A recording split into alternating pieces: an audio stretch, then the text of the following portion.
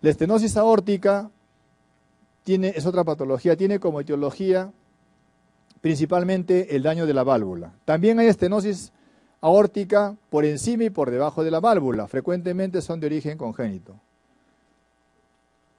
pero lo más frecuente es que la válvula se dañe. ¿Y en qué grupo etario ocurre más frecuente la estenosis aórtica? En el adulto mayor. Varones de, varones sobre todo, varones de 60, sobre todo 70 años. Este le da más frecuente. ¿Por qué ocurre la estenosis aórtica? Porque la válvula se degenera más rápido de lo habitual. O sea, todos los varones y mujeres vamos a tener degeneración de las válvulas. Pero en este grupo de pacientes, por algún motivo, pues se degenera más rápido la válvula. Recuerden que la válvula normal tiene un área de 3 centímetros cuadrados. Y cuando llega a una estenosis severa, tiene un área de 0,5 centímetros cuadrados. Entonces, miren cuánto reduce, de 3 centímetros cuadrados a 0,5, o sea, es bastante. Esto es lo normal, ¿no? Esto de acá es lo normal. Válvula normal, ¿no? Válvulas normales. Tiene tres, tres valvas. Cuando hay una estenosis, miren cómo las comisuras, las comisuras se van fusionando. Las comisuras se fusionan y ya no se abren las comisuras. La parte central se abre, pero la comisura ya no. Ahí comienza a haber estenosis. Esta válvula que está a su lado derecho extremo, la tercera válvula, tiene solo dos valvas, porque el paciente nació así. Dos valvas se fusionaron o estaban fusionadas de nacimiento. A esto se llama bivalvo. Una valva acá y otra valva acá. Muy bien, incluso hay hasta monovalva. ¿Y cuál es el problema de esta bivalva o monovalva? Que va a estenosarse más rápido. Así que un paciente común y corriente que tiene sus tres valvas normales y que está determinado a hacer estenosis aórtica, hará estenosis a los 70 años, por ejemplo. En cambio, un paciente que nace con bivalva hará estenosis a partir de los 40 años, por ejemplo. O sea, el que tiene bivalva tiene mayor riesgo de estenosis en etapas más tempranas. Por esa misma razón, en los menores de 70 años, cuando tenemos una estenosis aórtica, hay que pensar que haya un problema de bivalva. ¿no? Hay que ver si hay una válvula bicúspide o monocúspide. Es más, en los pacientes con válvula bicúspide frecuentemente se asocia coartación de aorta. Entonces, hay asociaciones que deben ir recordando en cardiología y en otros, en otros cursos también. Esta es una de ellas muy importantes. Válvula bicúspide aórtica se asocia con coartación de aorta. La estenosis aórtica entonces sí tiene problemas serios con la evolución del ventrículo izquierdo. El ventrículo izquierdo se hipertrofia brutalmente. Hay una hipertrofia severa del ventrículo izquierdo porque tiene que vencer la resistencia que le está presentando la válvula aórtica porque no se abre completamente. Ahora, por suerte, durante mucho tiempo, a pesar que ya haya estenosis, por mucho tiempo el paciente va a estar asintomático. Para suerte digo entre comillas. El problema es que cuando empieza a sentir síntomas, ya se le complica la situación. Porque en cuanto empieza a haber síntomas, ya la sobrevida disminuye para ese paciente. ¿Cuál es el primer síntoma evolutivamente que aparece? El dolor precordial dolor precordial. Y es por angina, es por, es por isquemia de miocardio. ¿Por qué? ¿Hay un problema en la coronaria? No.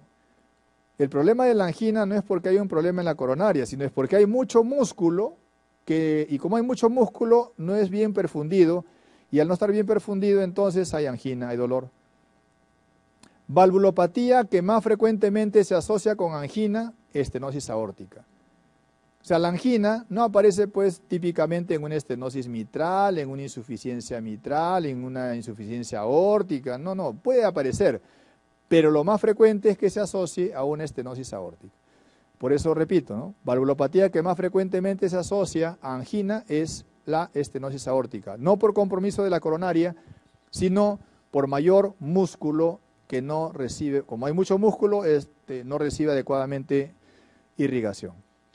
Luego aparece el síncope y cuando ya aparece la disnea, este paciente tiene sobrevida solo de seis meses si no recibe tratamiento quirúrgico. Entonces la tríada es esta, ¿no? Angina, síncope y disnea, en ese orden evolutivamente. No siempre las preguntas vienen en ese orden, pero en orden es angina, síncope y disnea. ¿Cuál es la valvulopatía que más frecuentemente se asocia a muerte súbita? Podría ser cualquiera, pero esta es de las más frecuentes. tampoco se asuste mucho, ¿no? Usted dice, tengo mi paciente con estenosis aórtica, tiene alto riesgo de morir súbitamente. No. Se refiere a que de 100 pacientes con estenosis aórtica, tal vez uno o dos de ellos pueda tener muerte súbita, ¿no? Y depende también mucho del tipo de estenosis que presente. En la estenosis aórtica hay un tipo de pulso característico, seguro que también lo han visto esto con el doctor Rado, pulso pequeño y tardío. Pequeño y tardío, o sea, un pulso muy débil. Y eso se debe a una presión diferencial bastante corta. 90 con 70. 90 con 70, ¿cuánto diferencial hay? 20, muy poquito, ¿no? Sí, pues eso produce un pulso pequeño y tardío. Tardío en relación con el latido cardíaco. Se demora mucho en llegar la onda de pulso hacia la arteria que uno quiere palpar. El pulso, perdón, el soplo que escuchamos es un, soplo en foco aórtico, típicamente en foco aórtico que se irradia hacia el cuello. Es la parte áspera del soplo, soplo irradiado hacia el cuello. Pero ese soplo que lo sentimos o lo percibimos en la sístole, que es creciendo, decreciendo, ese soplo también en ese momento vamos a escucharlo en la punta del corazón, pero con un tono más agudo, con un tono más musical. Eso se llama fenómeno de Gallard-Bardin. Este, eso se ve más en el adulto mayor. ¿no? Es un dato que les doy de repente, como siempre hay profesores que les gusta presentar este, algún tipo de, digamos, pues, este, pregunta romántica en la medicina, porque son nombres clásicos, pues, ¿no? Ya no se utilizan mucho los nombres en medicina, pero igual el fenómeno de Gallard-Bardin es un fenómeno bastante clásico que implica un soplo de estenosis aórtica que se percibe en el foco, en, la punta del corazón. ¿no? Se irradia, mejor dicho, se percibe en el foco aórtico, pero se va irradiando hacia la punta del corazón. Es el mismo soplo que encontramos acá, es el mismo, solo que percibido irradiado hacia la punta del corazón. Igual pasa aquí que en la estenosis mitral. ¿Qué pasa acá? Que cuando la válvula se abre, suena. ¿En qué fase se abre la válvula ahora acá? Recuerden, la estenosis aórtica se abre la válvula y suena. ¿Y por qué se tendría que abrir? Porque están sacando sangre hacia la aorta. ¿Eso qué fase es? Sístole. Entonces la válvula aórtica se abre en la sístole. Al inicio, no, al inicio hay contracción isovolumétrica. En esta primera parte, miren, desde que empieza, desde el primer ruido cardíaco hasta que se abre la válvula aórtica, ahí no se abre todavía nada, esa fase se llama contracción isovolumétrica. Luego que se abre, fase de inyección rápida, ¿cierto? Donde escuchamos el soplo creciendo, decreciendo. Este, esta apertura de la válvula se denomina clic de eyección o clic de apertura. De la misma forma, si usted en una pregunta lee clic de eyección o clic de apertura, se acabó. ¿De qué están hablando? De una estenosis aórtica. En la estenosis aórtica también hay un fenómeno importante, se llama desdoblamiento del segundo ruido cardíaco de forma paradójica. Normalmente el segundo ruido cardíaco tiene un componente que es el pulmón, el aórtico primero se cierra primero el aor, primero se cierran las del lado izquierdo, recuerden, ¿ah? las válvulas izquierdas se cierran primero y luego las del lado derecho. Entonces el segundo ruido cardíaco está compuesto por el aórtico y pulmonar. Están fusionados, ¿no? Pero se pueden separar. ¿Acá se han separado? Sí. ¿Por qué se ha separado? Porque la aorta se ha retrasado en cerrar. Se cierra la pulmonar en el momento que debe cerrarse, pero la aórtica se demora en cerrar. ¿Por qué? Porque está estenosada. Eso genera desdoblamiento y se llama desdoblamiento paradójico. Muy bien, en la estenosis aórtica, ¿qué encontramos? En el electro, hipertrofia brutal del ventrículo izquierdo. Pero no siempre la hipertrofia del ventrículo izquierdo guarda relación con los síntomas. Puede que tenga una hipertrofia brutal, pero no tenga demasiados síntomas. No hay una correlación necesariamente entre un hallazgo y otro. En la placa de toras, la aorta puede estar dilatada, el ventrículo izquierdo crece. Cuando el ventrículo izquierdo crece, recuerden, crece hacia abajo. Ventrículo derecho crece hacia arriba, ventrículo derecho crece hacia abajo. En el ecocardio vamos a encontrar un engrosamiento eh, de la válvula, el jet eyectivo y la hipertrofia también del ventrículo izquierdo. Como les dije, en una estenosis aórtica, encontrar una válvula de un área menor a 0,5 centímetros cuadrados implica una estenosis de la válvula grave o severa en todo caso. El tratamiento de una estenosis aórtica con fármacos es difícil, eso es lo que deben recordar. El manejo farmacológico de la estenosis aórtica no es como de la estenosis mitral. En la estenosis mitral, ¿qué damos? Diurético, beta bloqueador. Acá, ¿qué podemos dar? Nada, no se puede dar nada, no se da. ¿Se puede dar? Sí. Se puede dar para el manejo de la insuficiencia cardíaca en sí. Yeca, furosemida, sí. Pero para la propia estenosis aórtica es muy difícil manejarlo, porque si usted le quita mucho, mucha precarga o le quita mucha poscarga, se complica más el paciente. Por ese motivo, no usar vasodilatadores ni ningún fármaco que cause hipotensión, porque usted va a causar mayor compromiso del paciente. Entonces, cuando usted encuentra un paciente con estenosis aórtica, que frecuentemente le encuentra cuando hay disnea, o sea acá, ya está, está, seguro prácticamente que tiene que operar el paciente, casi de seguro, ya no le dé vuelta atrás al asunto.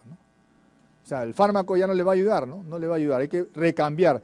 Y en el caso de la aorta, aquí de frente es recambio valvular, ¿no? Cambio valvular.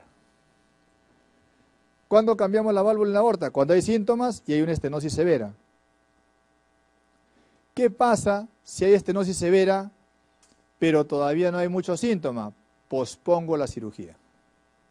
También puede pasar que no, no, el paciente tiene, mire doctor, tiene una área de menos de 0,5, perdón, tiene un área de un centímetro cuadrado, perdón, tiene, perdón, este no es severa, tiene un área de menos de 0,5 centímetro cuadrado. Ya, pero y el señor sí puede caminar, no tiene mucha disnea, entonces todavía a este paciente no le vamos a hacer la cirugía. ¿Qué pasa si no tiene síntomas? Usted dice, ah, perfecto, no tiene síntomas, señor, no se preocupe, no un ratito. ¿Cuál es su fracción de eyección? Menos del 50%, ah, no, entras a la operación. O sea, si a pesar de eso el paciente, si fuera asintomático, con estenosis severo no, no importa, pero si es asintomático, tiene que entrar a las operaciones si la fracción de eyección es menos del 50%. No hay que esperar que la fracción de eyección se deteriore para recién ingresar a las operaciones. Ese paciente ingresa sí o sí, insisto, aún sea asintomático. La insuficiencia mitral es otra patología ya saben, acá puede ser, como es insuficiencia mitral, puede ser aguda o crónica, ¿no es cierto? Puede ser aguda o crónica. La insuficiencia puede ser de un momento a otro por ruptura de repente de la cuerda tendínea o puede instalarse crónicamente. Crónicamente, por ejemplo, lo que puede también producirse en un paciente con secuela de fiebre reumática. O crónica también puede ser en el caso de un prolapso de válvula mitral y aguda en una endocarditis, como vimos hace un momento, o una disfunción del músculo papilar por un infarto de miocardio. Entonces, recordar que las insuficiencias pueden ser agudas o crónicas. Los signos y síntomas de la insuficiencia mitral, disnea igualito, ¿no? Disnea, fatiga, igual, hipertensión pulmonar, síntomas parecidos al de una estenosis. En el caso de insuficiencia mitral, el soplo ya no es como en el estenosis en la diástole, el soplo es en sístole y es un soplo holosistólico, soplo holosistólico.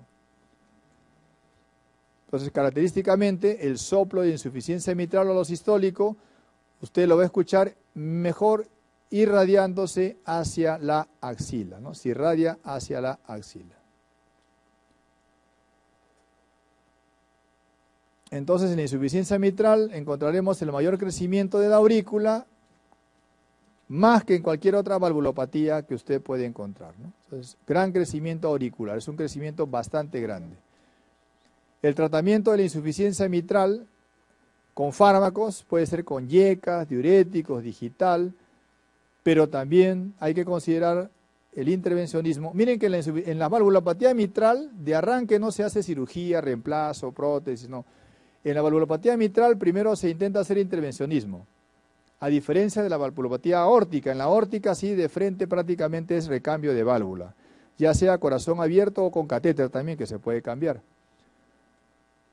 Entonces el intervencionismo también se, es la primera posibilidad en una valvulopatía tipo insuficiencia mitral, sobre todo si hay disnea y si la fracción de eyección, fíjense, es menor a 60%. En insuficiencia mitral no se espera mucho deterioro de la fracción de eyección. Basta que ya esté por debajo de 60, se va planificando intervencionismo. ¿no? ¿Qué cosa se hace? Valvuloplastía mitral. La idea es preservar el aparato de la válvula, no, quitar la válvula. Pero si no se puede, al final tendrá que pues, colocarse una prótesis, si no se puede conservar. En insuficiencia aórtica encontramos aquí que el problema básicamente es que la válvula aórtica no está cerrándose adecuadamente y deja pasar sangre de la aorta hacia el ventrículo izquierdo. ¿Y qué origina eso? Sobrecarga del ventrículo izquierdo. Sobrecarga del ventrículo izquierdo durante la diástole. Acá están las etiologías de la insuficiencia aórtica. ¿no? Ya les dije, las insuficiencias tienen dos causas, o dos formas de evolución, perdón, evolución crónica y evolución aguda. ¿no? Las evoluciones, la presentación aguda es endocarditis, fiebre reumática, rotura, traumatismo, traumatismos también, por cierto. Y en las crónicas, acá está, ¿no? También fiebre reumática, sífilis, ectasia de la dilatación se refiere, artritis, enfermedad de Marfan, arteritis, la que sea, todas tienen una evolución crónica, las que están acá, y agudas las que están al otro lado. O sea, dos formas de presentación la disnea, las palpitaciones y los pulsos muy intensos son los signos y síntomas típicos en la insuficiencia aórtica. El pulso prominente, el pulso intenso, es muy característico de insuficiencia aórtica. Eso se llama pulso magno. Hay 18 nombres de los pulsos según donde se le encuentre. ¿no? Acá he puesto algunos de ustedes, seguro reconocerán, Muset, Landes, Müller, Rosenbach, todo eso dependiendo de dónde usted palpe el pulso. El pulso es sumamente intenso. Acá también le, llamamos también martillo de agua cuando lo tomamos a nivel del, del antebrazo, ¿no es cierto? Cuando lo tomamos a nivel del antebrazo. Entonces, en la insuficiencia órtica hay un pulso magno, pulso magno llamado pulso Seller o el martillo de agua, y eso es porque la presión sistólica está muy diferenciada de la diastólica. Ejemplo, presión sistólica está en 140 y la diastólica está en 40. 140 menos 40 es 100 de diferencial, o sea, cuando la diferencial es muy amplia, se percibe un pulso bastante amplio. Entonces, el pulso Seller o pulso magno o pulso martillo de agua se presenta por la gran presión diferencial que el paciente tiene. Entonces acá la sangre regresa de la aorta hacia el ventrículo izquierdo. ¿Y dónde suena? ¿En qué fase del ciclo cardíaco suena? En diástole. En la fase, al inicio de la diástole, es protodiastólico, es proto-mesodiastólico. Proto-mesodiastólico. Se escucha sobre todo en el foco aórtico accesorio, llamado también foco de Herb. Además del soplo que estamos escuchando, producto de la, sangre que regresa de la aorta hacia el ventrículo izquierdo, que es el, es el flujo que está acá de este color un poco morado o lila, aparte de eso hay otro sonido que también se puede encontrar sobre todo a la mitad y al final, sobre todo al final de la diástole. A ese soplo se le llama soplo de Austin Flynn. Y es un soplo que aparece debido al hecho que la sangre de la aurícula, miren, ah, de la aurícula, pasa al ventrículo, pero con turbulencia. Te dirá, pero ¿cómo, qué tiene que ver ahí que la sangre pase de la aurícula al ventrículo por turbulencia si el problema es la válvula aórtica, no es la mitral? Lo que pasa es que en una insuficiencia aórtica, la válvula mitral puede también estar comprometida. ¿Cómo? Cuando la sangre regresa de la aorta al ventrículo, al regresar choca con la valva anterior de la mitral que quiere abrirse. Pero como la sangre llega, choca con la valva mitral y no la deja abrir completamente. Al no dejarla abrir, hay una estenosis fisiológica, funcional, por decirlo, no fisiológica, perdón, funcional, y eso hace que la sangre que pase de aurícula a ventrículo haga turbulencia y sople. Mientras más regresa la sangre de la, de la aorta al ventrículo, más impide que la válvula mitral se abra y por lo tanto mayor soplo y mayor soplo de Austin Flynn me refiero y mayor representación en la diástole. Entonces, soplo de Austin Flynn es un soplo que se produce por estenosis funcional de la válvula mitral secundaria al chorro de sangre que regresa de la aorta hacia el ventrículo izquierdo. A mayor chorro, a mayor insuficiencia aórtica, a mayor severidad de la insuficiencia aórtica, mayor soplo de Austin Flynn tendremos en el paciente.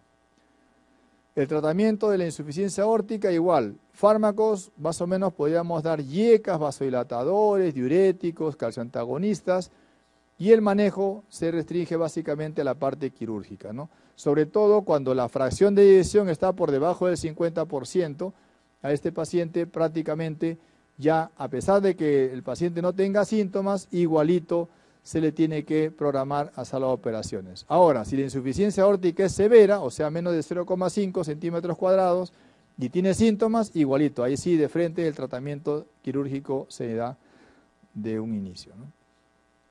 Estos otros parámetros también serían, este, son importantes para su evaluación, pero lo que deben recordar es en la insuficiencia aórtica, así no tenga síntomas, si la fracción de eyección es menor del 50%, se indica cirugía.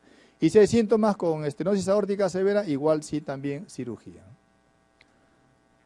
¿Cuáles son las manifestaciones clínicas que caracterizan a la estenosis aórtica? ¿no? ¿Por qué se caracteriza la estenosis aórtica? Esta pregunta la han hecho durante toda la historia del residentado médico de diferentes maneras. ¿Qué caracteriza la estenosis aórtica? No tiene que estar en orden, ¿ah? por si acaso.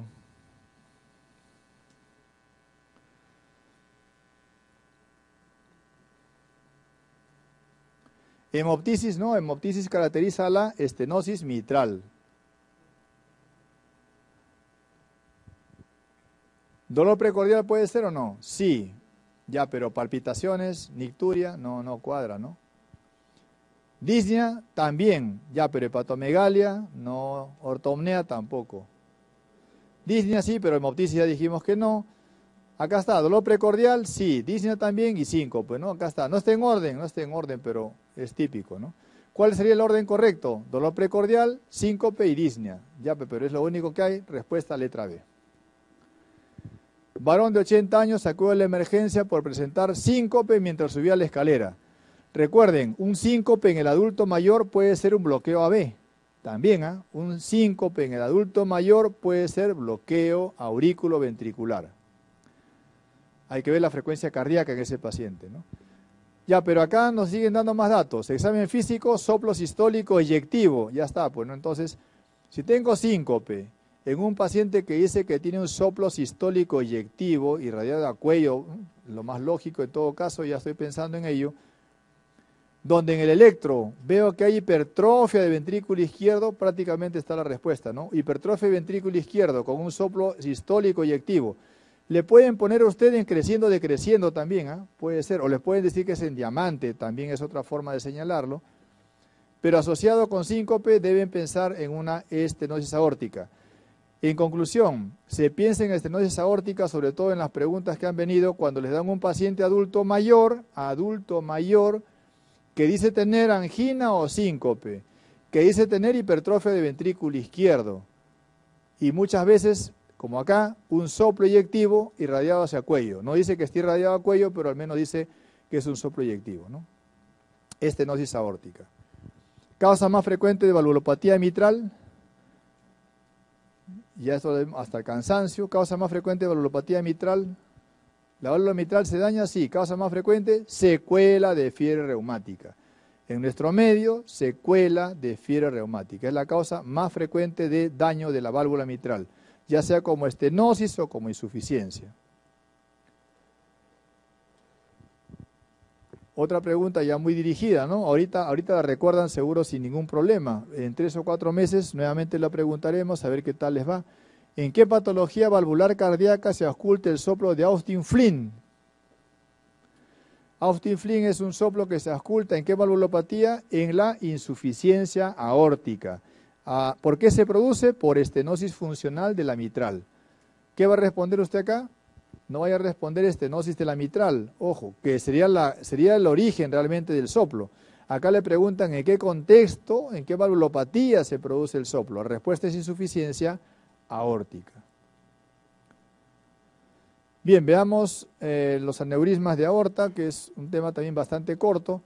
El aneurisma de aorta es una dilatación de alguna región de la aorta. Puede ser aorta ascendente, descendente, pero más frecuente en qué lugares? en la descendente. ¿En qué parte de la descendente? En el abdomen. ¿En qué parte del abdomen? Después que ya nacieron las arterias renales.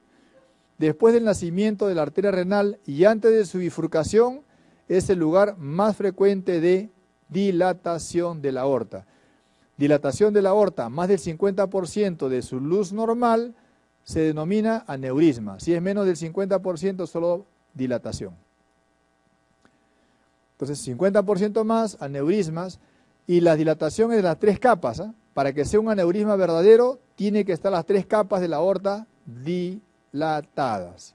Si solamente son dos o una, se llama pseudoaneurisma. ¿Cuál es la causa más frecuentemente asociada? La causa más frecuentemente asociada o que desencadena el aneurisma es la arterioesclerosis. Es la más frecuente, no es la única. Hay otras causas también, por ejemplo, el síndrome de Marfan, la sífilis, ¿no? Recuerdan típicamente los pseudoaneurismas postraumáticos, los aneurismas micóticos, miren, todos son estas causas también de vasculitis, pero la más frecuente es la originada por las placas ateromatosas que van debilitando la pared y van produciendo dilatación.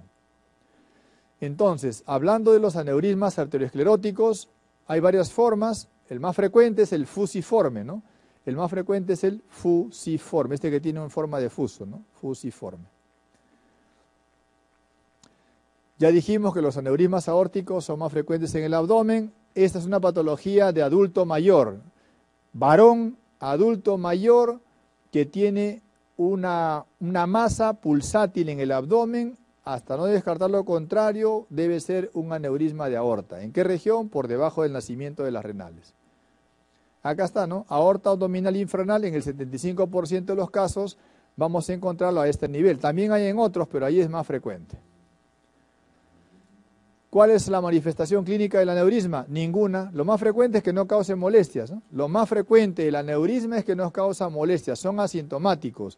El diagnóstico es casual.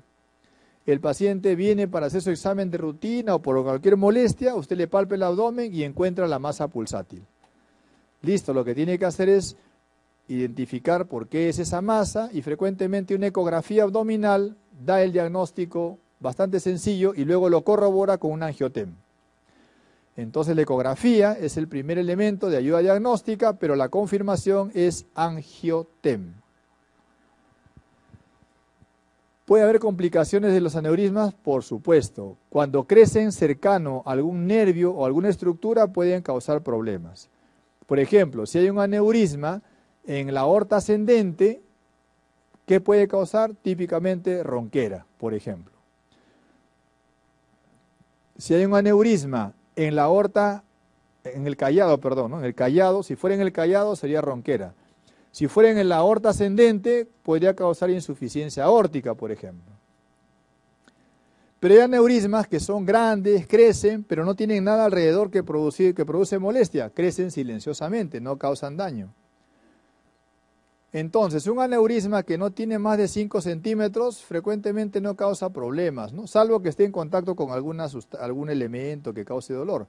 El problema es que cuando el aneurisma ya tiene 5 centímetros o más, ahí puede haber riesgo de ruptura. Y un riesgo de ruptura es muerte para este paciente.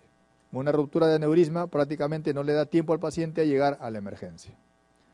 Y cuando se rompe un aneurisma, el dolor abdominal es sumamente intenso. Dolor abdominal intenso, súbito, hipotensión, el paciente se desmaya y lo llevan a la emergencia, pero como digo, frecuentemente no llega vivo. ¿Cuáles son los factores de riesgo para que el paciente presente la ruptura del aneurisma? Primero, que tenga un aneurisma de más de 5 centímetros no garantiza que se rompa. ¿Se puede romper? Sí, pero tiene que haber otro factor importante. ¿Cuál es? La hipertensión. Entonces, en el contexto de un aneurisma de más de 5 centímetros y la hipertensión arterial de ese paciente, se dan las condiciones ideales para ruptura del aneurisma. Un paciente con un aneurisma de más de 5 centímetros tiene que ser operado sí o sí, porque el riesgo de ruptura es bastante alto. Si llega a 6 centímetros, peor todavía, el riesgo de ruptura es mucho mayor. ¿Cuál es el tratamiento entonces? Bueno, si es menos de 5 centímetros, ya dijimos, manejo de la hipertensión para evitar que siga avanzando. ¿Y cómo se maneja? Hipertenso con eh, aneurisma que dijimos, beta bloqueadores, ¿no? Beta bloqueadores. ¿Qué pasa si tiene más de 5 centímetros? Entonces, tratamiento quirúrgico. También beta bloqueadores, seguro, ¿no? Pero tratamiento quirúrgico, miren acá, se pone una endoprótesis. una endoprótesis de Dacron, es un injerto de Dacron y el paciente queda pues como nuevo. Entonces la idea de estos pacientes es que usted lo diagnostique ante, el hecho de ausencia de síntomas. Cuando ya está roto ya es otra cosa, ahí la mortalidad es prácticamente el 100%. En cuanto a la disección de aorta, miren esta placa de rayos X, tenemos el mediastino ensanchado. Mediastino ensanchado, ¿qué puede ser? Un tumor, una neoplasia. Mediastino ensanchado, ¿qué puede ser? Un aneurisma de aorta. Pero también mediastino ensanchado puede ser una disección de aorta. Un traumatismo torácico puede producir disección de aorta, sí, y se puede ensanchar súbitamente de un momento a otro. Bueno, ¿qué cosa es disección de aorta? En términos sencillos, disección de aorta es ruptura de la capa interna de la aorta por donde se va a meter la sangre y se va a colocar entre la capa interna y la capa media. O sea, la sangre se mete por un lugar donde no debe estar. ¿Dónde debe estar la sangre? En la luz de la arteria. Pero en la disección, lo que pasa es que se rompe, se desgarra una parte de la íntima la sangre se mete por ahí y diseca, de cola, separa la capa media y la capa interna y la sangre sigue avanzando. Como acá, miren, ¿no? La, la íntima se rompe, la sangre se mete por acá, pero acá, acá no hay luz, pero va creando la luz. ¿A dónde va? A ningún sitio. ¿Y cuál es el problema? El problema es que va llenando espacio y la luz verdadera se va cerrando. Entonces, para donde vaya disecándose, la luz va disminuyendo y el paciente hace hipoperfusión. Cuando se diseca, el dolor es intenso en el paciente. La disección de aorta se caracteriza por dolor intenso. No es 10 sobre 10, el paciente dice 11 sobre 10. Es un dolor sumamente intenso. ¿Puede haber o no un aneurisma previo? Sí, acá por ejemplo la disección está hecho en, en un paciente que no tenía aneurisma. Pero a veces hay aneurismas y sobre los aneurismas se diseca, el, se diseca y es, es bastante frecuente también. La mayor parte de las disecciones son por hipertensión. Sí, la hipertensión es un factor de riesgo muy importante, pero para que la hipertensión condicione disección de aorta, se requiere dos, dos condiciones. ¿no? Un desgarro, perdón, primero una capa eh, media alterada, degenerada, y frecuentemente esto es adquirido. Y sobre esa capa degenerada, un desgarro de la íntima. Entonces, una arteria aorta que la capa media ya está con una, así se llama, necrosis quística, que presente un desgarro, gracias a la hipertensión, empieza el fenómeno de disección de aorta. Bien, la hipertensión entonces es un fenómeno importante que casi siempre está presente, pero no es el único elemento que condiciona ello. La arteriosclerosis, síndrome de Marfan, y miren, ya hemos visto otra vez esto, el endarnos, gestación, coartación de aorta también podría desencadenar este proceso. A diferencia del aneurisma, ¿dónde se produce la disección de aorta más frecuentemente? ¿En qué lugar de la aorta? En la aorta ascendente. ¿Y esto es un riesgo? Sí, porque cuando hay disección de aorta ascendente, ¿a quién compromete? A la válvula aórtica. Y si la válvula aórtica se compromete, ¿qué cosa hay? Insuficiencia aórtica aguda. Entonces, es la localización más frecuente en la aorta ascendente. Entonces, para efectos de tratamiento, la disección de aorta se ha clasificado en dos grupos, Stanford A, así le llaman, y Stanford B. Una disección Stanford A es cuando está comprometida la aorta ascendente, ya sea que comprometa en extenso toda la aorta o solamente la parte ascendente, nada más como acá. En cambio, una disección Stanford B no compromete la aorta ascendente. ¿Y eso por qué es importante? Como le decía, para el manejo. El manejo de un Stanford A es quirúrgico, de inmediato. En cambio, el tratamiento de un Stanford B, de inmediato, no es quirúrgico, de inmediato es farmacológico. ¿Cuál es la clínica? Ya les dije, dolor intenso, súbito, 80-90% de los pacientes señalan dolor intenso.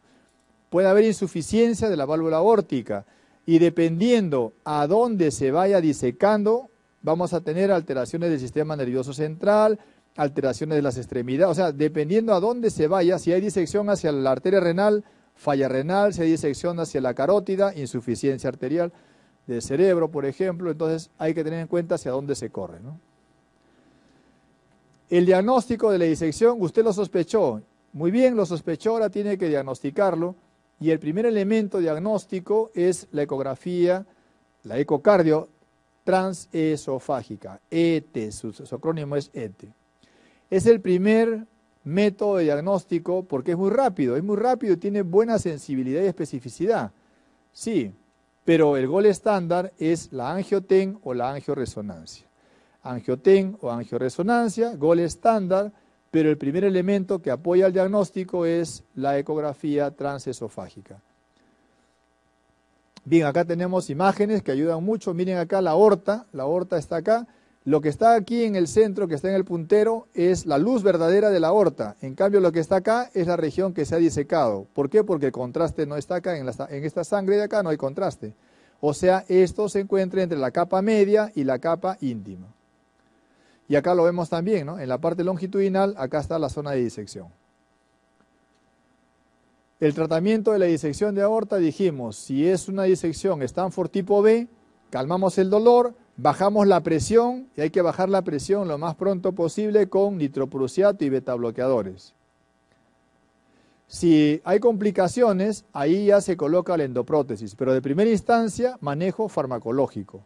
En cambio, en el Stanford A, el manejo de inmediato es cirugía, injerto de Dacron.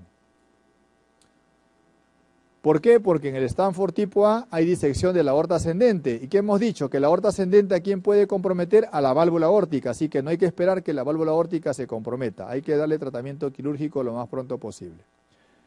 Cuartación de aorta. La cuartación de aorta es un estrechamiento congénito. El paciente ya nace con esto. Miren, acá es una estenosis. Frecuentemente después del nacimiento de la arteria subclavia del lado izquierdo. Acá está en esta región, a este nivel. Normalmente es más frecuente en varones, normalmente es más frecuente en varones, es una patología que no es muy frecuente, es la octava malformación cardíaca más frecuente, digamos que es relativamente frecuente. Miren, acá está mucho mejor diagramado, ¿no? Después de la subclavia izquierda, acá está la estenosis, la coartación. ¿Qué habíamos dicho? Que la coartación se asociaba a otra patología también de nacimiento. ¿Cuál era la otra patología asociada de coartación de aorta? La válvula bicúspide aórtica, ¿no? Es la otra asociación que debemos, la, otra, el otro componente de esa asociación que hemos señalado. Ahora, ¿en qué región exactamente está comprometida la aorta cuando hay esta coartación?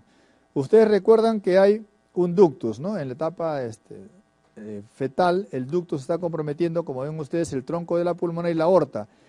El número 3 que está acá sería el ductus. Y entonces hay coartación, sería básicamente pues a nivel del ductus, ductal, posterior al ductus, postductal y preductus, preductal. Lo más frecuente en el adulto es la postductal. A este nivel puede haber la estenosis, la estrechez. En los niños, en los recién nacidos sobre todo, el más frecuente es el preductal.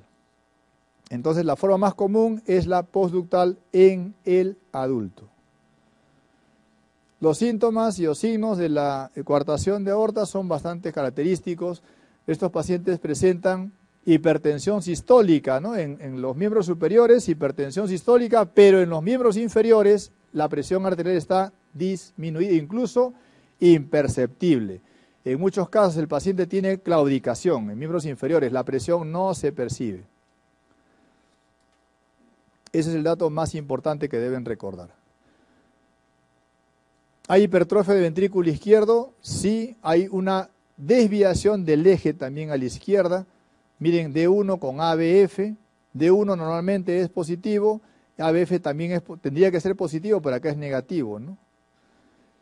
Y vemos en Sokolov, B1, esto lo van a comentar seguro mejor con el doctor Rado, B1, fíjense acá, tenemos en B1 la S bien profunda, tiene 4, tiene 20, 20 cuadraditos chiquitos, y B5, ¿cuánto tiene? 1, 2, 3, 4, 5. Tiene también igual, tiene 2, no, 4, perdón, tiene 20 más 20, 40, tiene Sokolov positivo, más de 35. O sea, hay hipertrofia ventrículo izquierdo y hay desviación del eje, eso es muy característico.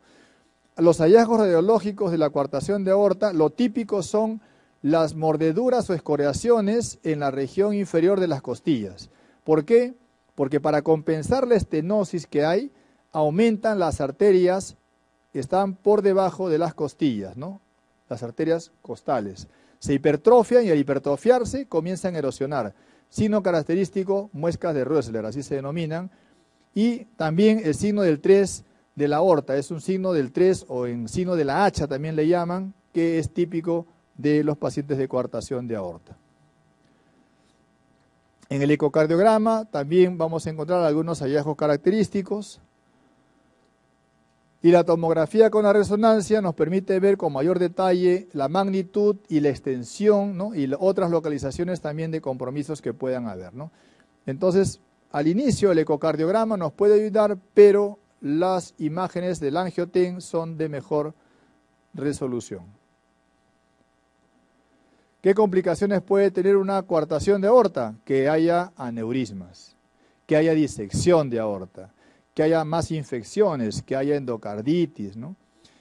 que haya una insuficiencia cardíaca a largo plazo, ¿no? También. Y se ha visto aneurismas asociadas a estos pacientes, ¿no? Aneurismas, perdón, intracraneales, aneurisma intracraneal que hacen hemorragias intracraneales. El tratamiento básicamente en neonatos es de frente, ¿no? Quirúrgico.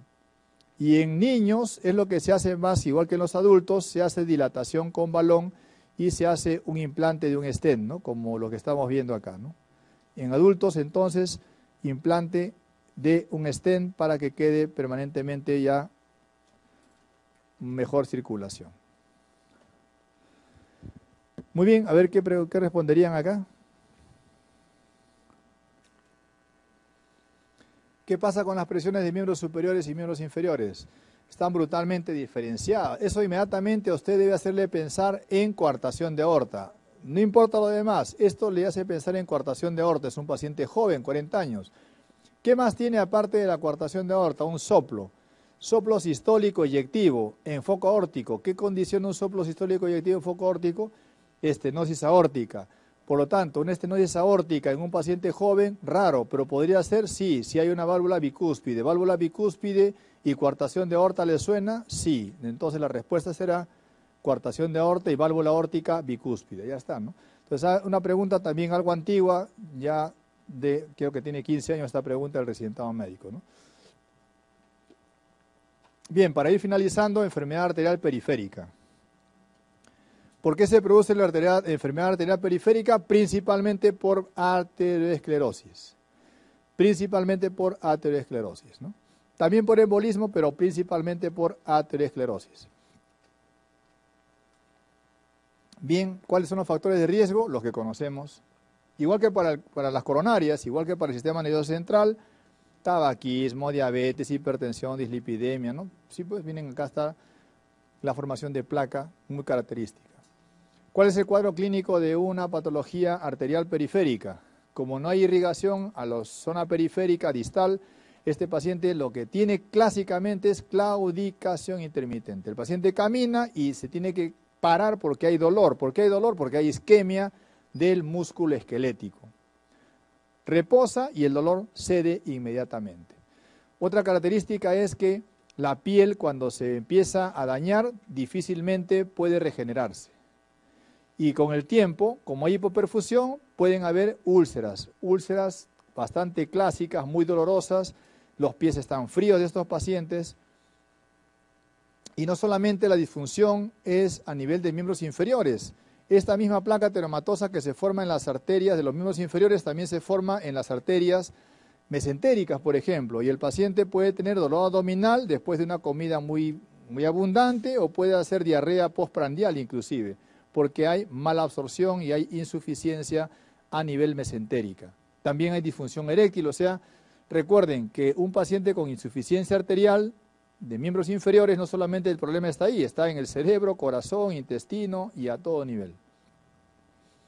Al examen físico entonces, frialdad distal, los pulsos están disminuidos ausentes, hay atrofia de la piel, los vellos ya no crecen adecuadamente,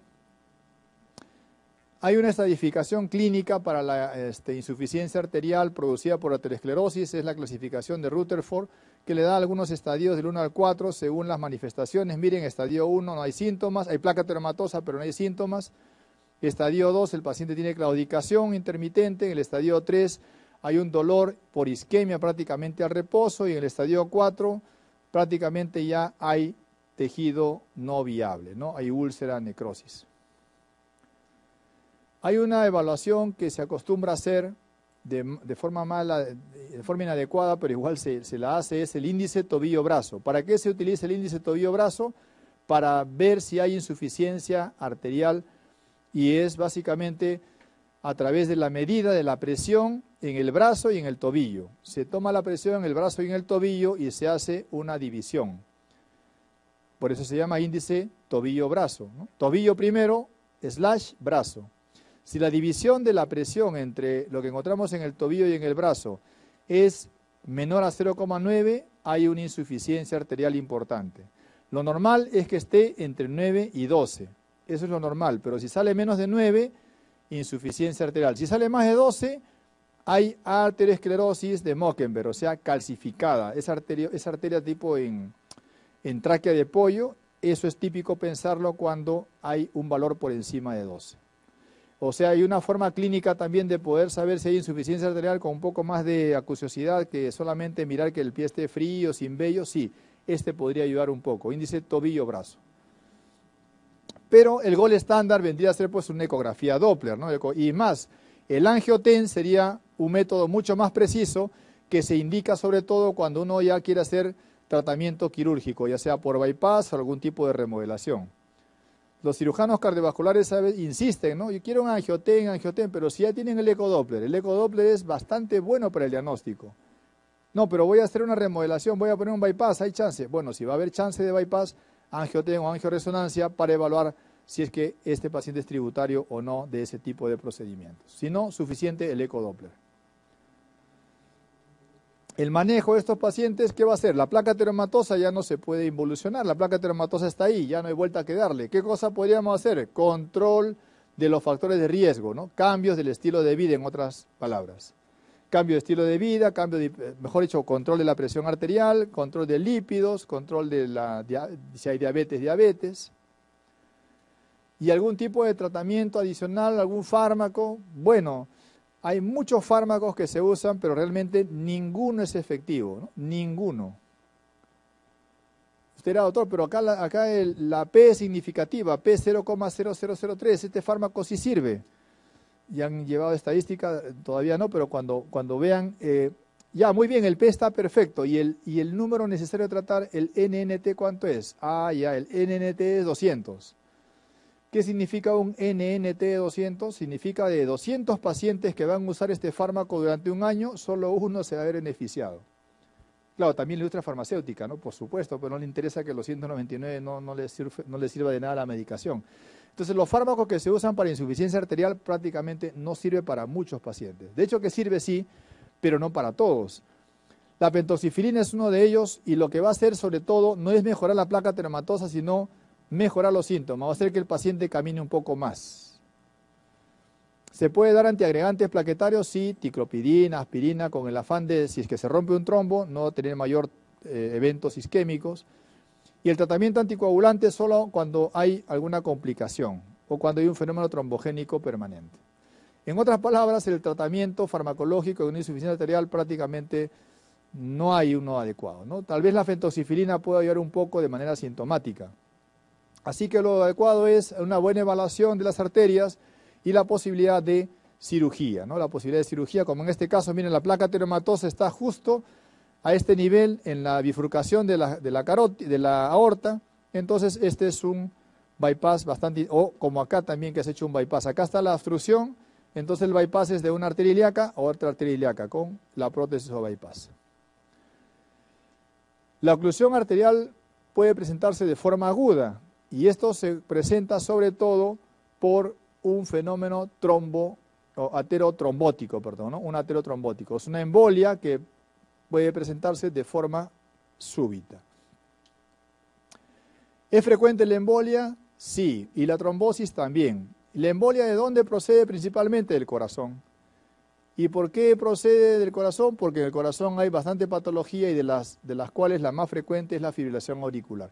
Entonces, cuando hay una fibrilación auricular, hay émbolos y los émbolos pueden migrar, ir al cerebro, al riñón, pero también pueden ir a miembros inferiores. Por otra parte, la placa teromatosa que el paciente tiene se puede romper. Esta placa teromatosa que vimos en, el, tema anterior, esa placa se puede romper y al romperse, ¿qué puede generar?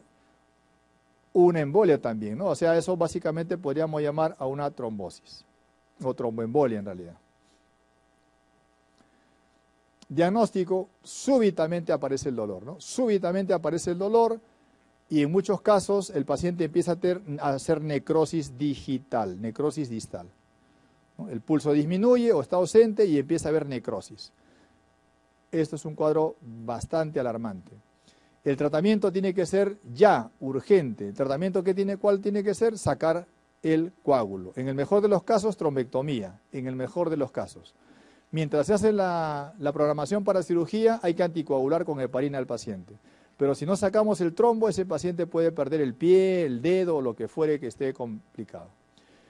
¿Qué es el síndrome de Lerich? Que es un síndrome típico que deben recordar. Es un síndrome donde hay una obstrucción en la bifurcación de la aorta. Acá está el trombo, miren, acá está el trombo, puede ser a este nivel, puede ser a este nivel. Hay tres tipos, o varios tipos en todo caso. El más frecuente es este que invade tipo pantalón, ¿no? Miren, acá está la aorta con su bifurcación tipo pantalón. ¿Y qué ocurre cuando presenta este tipo de trombosis del paciente. Miren las piernas de este paciente. Entonces, el síndrome de Lerich se presenta típicamente con dolor intenso, bilateral, con claudicación y con necrosis. El paciente está completamente mal y el tratamiento de estos pacientes podría ser, como vimos acá previamente, retrocedemos un poco, perdón, acá, como el que estamos viendo acá, este tipo de injerto. ¿no? Este podría ser el manejo quirúrgico también en ese paciente. Pregunta, ¿cuál es la causa más frecuente de embolia de origen cardíaco? Embolia de origen cardíaco. ¿El corazón puede causar embolia? Sí. ¿Un aneurisma de ventrículo izquierdo secundario a un infarto puede causar embolia? Sí. ¿Es frecuente? No muy frecuente. ¿Qué más frecuente entonces? Por ejemplo, la fibrilación auricular, de lejos, ¿no? ¿La cardiopatía dilatada también puede causar embolia? Sí. ¿Una insuficiencia cardíaca con fracción de eyección menos del 30%? También. Pero lo más frecuente es fibrilación auricular. Enfermedad venosa periférica. La trombosis venosa profunda es una de las eh, patologías que más frecuentemente vamos a, ver eh, dentro del grupo de las arteriales o venosas en general, más que las arteriales inclusive y consiste pues en la obstrucción parcial o total de las venas de los miembros inferiores, sobre todo, como vemos acá, por insuficiencia, muchas veces por insuficiencia de las venas, que, de las válvulas, perdón, que se encuentran dentro de ellas. Hay otros factores también adicionales, pero sobre todo por insuficiencia de las válvulas. Ahora, ¿cuál es el problema de una trombosis venosa profunda? El problema no es tanto la trombosis de los miembros inferiores, porque como recuerdan hay circulación venosa profunda y superficial. Entonces, si una de las circulaciones está obstruida, la otra suple. Eh, bueno, es cierto, van a haber varices, edemas, perfecto, sí, pero el problema más importante de una trombosis venosa profunda es que este trombo se rompa, no todo, pero se rompe el cuerpo y la cola, se rompe y viaja hacia el pulmón y produce tromboembolismo pulmonar. O sea, el problema de la trombosis venosa profunda principalmente es la complicación a través de una trombosis venosa eh, a nivel de, perdón, a tromboembolia pulmonar, que es una embolia arterial, no venosa, tromboembolia pulmonar. ¿Qué etiologías tiene la trombosis venosa profunda? En otras palabras, factores de riesgo. Justo hoy día tenemos un paciente que vive aquí en Lima, pero viaja a Puno cada semana y tiene 28 horas basta Juliaca, desaguadero trae mercancía, contrabando, dice él, pero bueno, ya va. Y ha venido justo porque presenta súbitamente aumentos de volumen en la pierna izquierda. O sea, paciente que tiene mucho tiempo inmovilizado la pierna va a tener alto riesgo de trombosis venosa profunda, traumatismos, cirugías, por ejemplo, fumar en exceso, anticonceptivos, si es mujer, lógicamente. Si, eh, hay unas neoplasias también o algún síndrome de hipercoagulabilidad también es otra posibilidad. Un SAF, por ejemplo, también es una condición importante. La insuficiencia venosa, que no es lo mismo que trombosis venosa profunda, también es una condición muchas veces previa debido a una insuficiencia de las venas que les había comentado y que es un factor de riesgo para formación de trombos. La insuficiencia venosa se caracteriza por edema, pesadez, cambio de coloración de la piel, pigmentación de la piel, prurito muchas veces. ¿no? El paciente se golpea y, difícilmente va a cicatrizar también. Pueden haber úlceras crónicas debido a la insuficiencia venosa. Recuerden que el sistema venoso, hay un sistema venoso profundo constituido pues por las venas peroneas, la vena este, poplitea, la vena humeral, perdón, este, la vena este, femoral, disculpen, la vena femoral, es un, un, circuito profundo, pero también hay un circuito superficial que está dado por la safena interna y la safena externa, y entre ambos, que está de color acá fucsia, entre ambos están el circuito o las venas perforantes. Entonces, cuando falla uno, el otro suple. Pero también puede ser que las venas perforantes estén complicadas, con lo cual el compromiso puede ser bastante complejo. Entonces, una maniobra clásica para determinar que hay trombosis venosa profunda, digo maniobra porque así lo han descrito, es el signo de Hoffman, es elevar la pierna del paciente y hacer dorsiflexión y al hacer dorsiflexión, el paciente presenta dolor importante. Entonces, no siempre se presenta esto, es un síntoma muy inespecífico, muy inespecífico, signo, perdón, muy inespecífico, pero las preguntas están relacionadas sobre todo a esto. ¿no? Signo de Homans, signo que se realiza para detectar si hay trombosis venosa profunda, se debe el pie, se hace dorsiflexión a 30 grados y si hay dolor, el signo puede ser compatible con una trombosis. No siempre, pacientes sanos también le hacen esta maniobra y puede haber dolor. ¿no? Hay algunas pruebas que son importantes que las revisemos. La prueba de Trellenburg es una prueba que también se utiliza clínicamente para evaluar si hay insuficiencia, miren, ah, de las perforantes y del callado de la safena interna, o sea, a este nivel, callado de la safena interna. Prueba de Trellenburg. ¿no? La prueba de Pertes es sobre todo para evaluar el sistema venoso profundo, y la prueba de Schwartz es para ver sobre todo la circulación superficial, o sea, safena interna y safena externa. Son pruebas que han quedado en realidad en desuso, han quedado en desuso, eran pruebas clásicas, antiguas. Actualmente el eco Doppler es eh, un examen que ha suplido prácticamente todas estas pruebas adicionales. Entonces, cuando tengo cuando tengo una sospecha de trombosis venosa profunda, pero es una sospecha, no, no estoy pensando que tiene, pero quiero descartar, entonces lo que uso es un dímero D. El dímero D sirve para alejar el diagnóstico, no para acercar.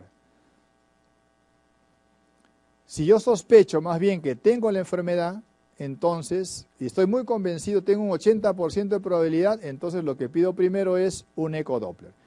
Entonces recuerden, si yo pienso que hay una, trombosis venosa profunda, pero la probabilidad es de 15, 20%, o sea, no estoy muy convencido que tenga, entonces yo quiero alejar el diagnóstico.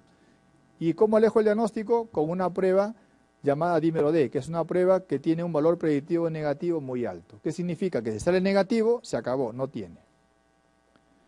En cambio, si yo creo que tiene el paciente trombosis venosa profunda, lo que debo pedir no es un dímero D, porque va a salir positivo seguro de repente, pero me interesa sobre todo que sea el lugar donde yo quiero saber. Entonces, ¿qué le pido? Un ecodoppler, es una prueba muy específica, y el ecodoppler me va a evaluar no solamente la insuficiencia venosa superficial o profunda, sino también va a evaluar la trombosis venosa profunda que quiero diagnosticar. Entonces, ecodoppler me evalúa trombosis y a la vez insuficiencia venosa, ya sea superficial o profunda. Mientras que el angioten o la angioresonancia, sobre todo, evalúa el fenómeno obstructivo, no tanto el fenómeno de insuficiencia. El tratamiento de la trombosis venosa profunda, primero es prevenir la tromboembolia pulmonar. ¿no? O sea, como ya dijimos, la trombosis venosa profunda tiene sobre todo como complicación la tromboembolia pulmonar. Entonces, ¿qué debo hacer? Prevenir embolia pulmonar. ¿Y cómo hago la prevención? Primero anticoagulo al paciente. ¿Y cuánto tiempo lo anticoagulo? En promedio seis meses. Eso depende mucho de la causa de la trombosis venosa profunda. Cuando la causa es conocida, en promedio seis meses, pero si la causa no es conocida de la trombosis, se puede anticoagular de por vida, ¿no? se puede anticoagular de por vida. Pero ese es un problema serio porque a veces las trombosis son muy frecuentes y al afectar al pulmón pueden producir un problema bastante serio. Así que en algunos casos se pone un filtro, se pone un filtro en la vena cava que atrapa los trombos que están viniendo desde los miembros inferiores. Cuando hay una trombosis venosa superficial, el manejo es mucho más conservador, el tratamiento solamente se da por seis semanas. Ojo, en la trombosis venosa superficial de miembros inferiores, una tromboflebitis frecuentemente, manejo seis meses, perdón, seis semanas, mientras que en la trombosis venosa profunda manejo seis meses. El tratamiento para entonces prevenir que aparezca nuevamente la trombosis o para que sea un foco permanente de formación de trombos, puede disminuir con escleroterapia más radiofrecuencia. Es un método que habitualmente lo manejan los cirujanos y la terapia láser o la trombectomía también sería otra posibilidad de manejo. Como les había comentado, hay una pregunta que dice así, ¿no? El signo de Homans positivo consiste en y sugiere trombosis venosa profunda del miembro inferior. ¿En qué consiste el signo de Homan? En otras palabras, ojo, es para ver trombosis venosa profunda. ¿En qué, en qué consiste? En un dolor que se desencadena en la pantorrilla o en la región retropropitia cuando hago dorsiflexión del tobillo. ¿Es específico? No, pero es lo que preguntan y habitualmente se utiliza como parte de orientación diagnóstica.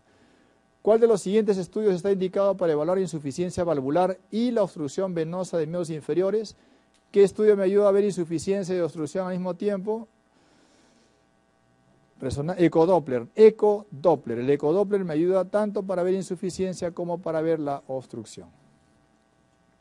Muy bien, colegas.